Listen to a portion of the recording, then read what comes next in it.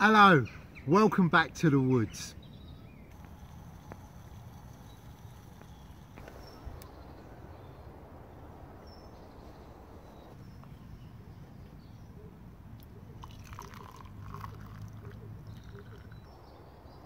And welcome back to another make your own outdoor gear video. And judging by the response to the last make your own gear video that I did, you guys seem to really like making your own stuff. And in this one, well, hopefully it won't disappoint. This one is probably the simplest outdoor project for a bit of gear that you could possibly ever make. So as with our other project, this one is a spot of upcycling. We're going to use something that most people would throw away. We're also not going to use a whole lot in the way of equipment to make it. In fact, all we're going to use is our knife. As far as materials go, well, we're going to use a six pint milk carton, empty, complete with lid. And we're going to use a stick, and well, that stick can be any length you like, whatever suits your needs. But for this particular demonstration, I'm going to be using one that's an armpit to a fingertip in length. And I'm also going to need a baton. And also, I'm going to need one household candle because in this video we are going to make a super simple candle lantern.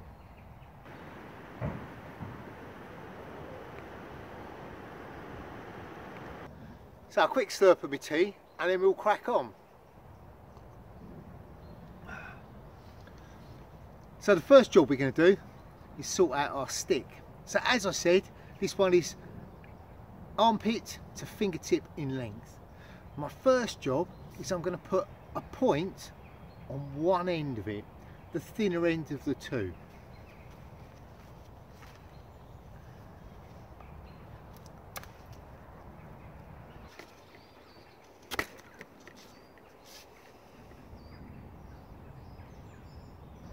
And I've made the point on this quite short and stubby.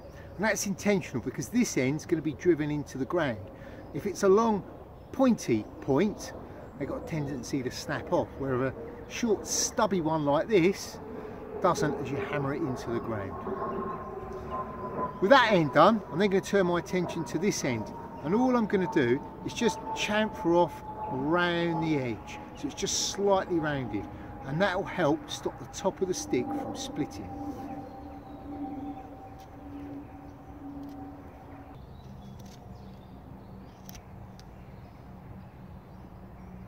And with that done, I'm just going to pop my knife away.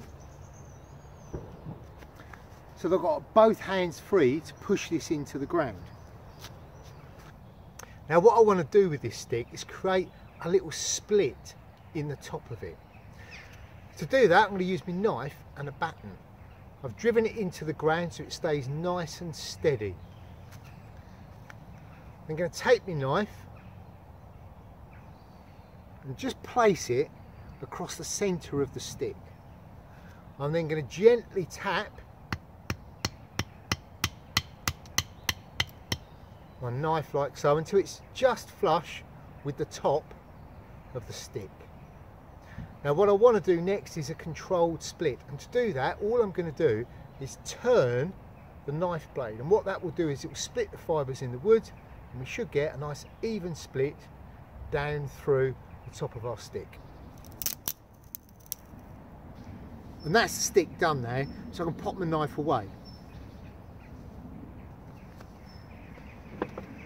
Next thing I'm going to turn my attention to is the milk carton. First thing I want to do is remove this label. Then, with the label removed, on the opposite side of the container to this handle, so this side, I want to cut two little slots, about a palm's width apart.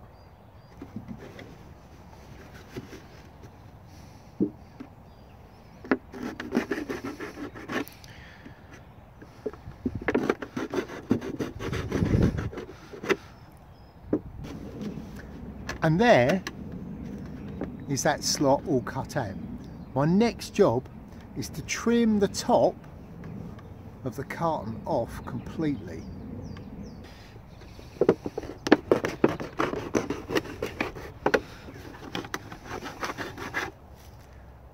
There it is. That's the carton almost ready. The next bit I want to look at is the lid.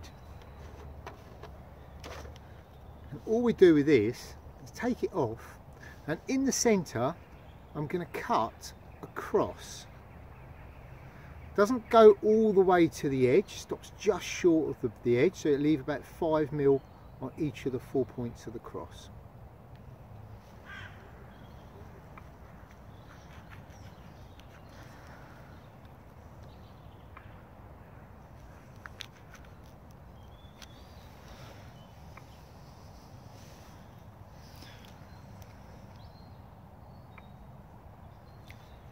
There's my cross all cut out. Next I'm going to take my candle and I'm going to push it through the centre of that cross.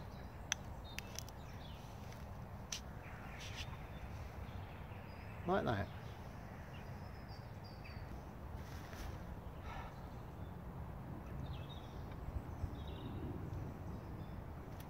So the elements are done.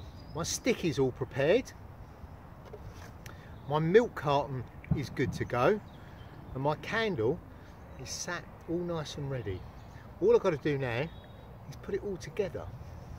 And to do that, locate my two slots that I cut in the side.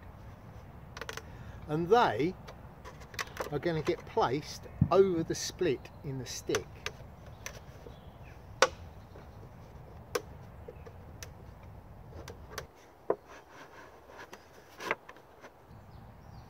So I'm just lighting my candle up and then all I'm going to do is pop it up through that hole. And then I just screw the cap in place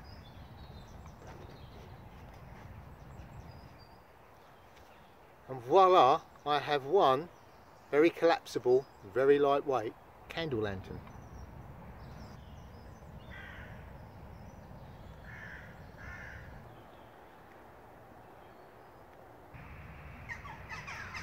So it's a super simple idea. It's also super versatile. You don't need to carry lots of little tea lights because you've got one household candle and they will burn for quite some time. You can have it on the stick and you can make it any height you like. So a little short one like this is great for under a normal basher, but you might want a longer one if you're living inside a hammock or you want something that's closer to where you are. Obviously we have to be a little bit careful with these because they are made of plastic, but the reason I go for the six point ones is that it keeps the candle that little bit further away from the plastic edges on the sides. We can move the candle up and down in the little holder. And we don't even have to use it with the stick. We can take it off the stick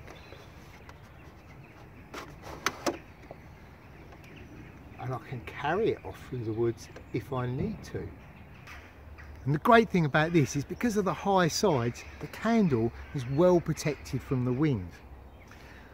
We don't even have to stop at using like this. If you don't want to put a stake in the ground, you can use these hung up.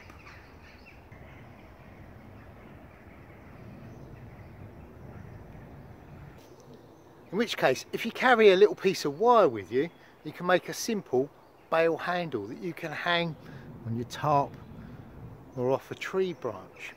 Again, makes it super, super versatile. One thing we do have to remember with these is they are only made of plastic, so you do need to take a little bit of care with them because they could be a bit of a fire hazard. Don't light it up and then go to sleep inside your shelter because that would be just asking for trouble. What you do get out of this is something that's pretty much free other than the cost of your candle. The actual container, well, it squashes down flat, fits in your rucksack and it weighs nothing at all. Probably the best thing about it is it's something that would be otherwise thrown away.